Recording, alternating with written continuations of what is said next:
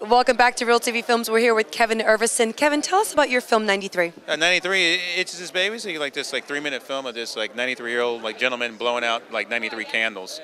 So it's basically a formal exercise because like once the gallery is really really bright with all the candles and, and then this whole uh, uh, space becomes dark. So it's actually about what's off the screen as well as what's on the screen too as well. So now, how do you find telling a story in seven minutes? Uh, it's actually three It's even shorter. Ooh, okay. uh, but I but I made films for less time. I actually do features and shorts, so yeah.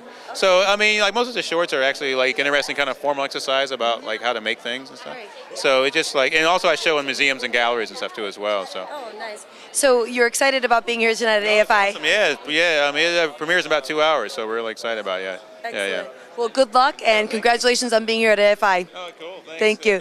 Kevin Everson right here on Real TV Films. We'll be back. Thank you.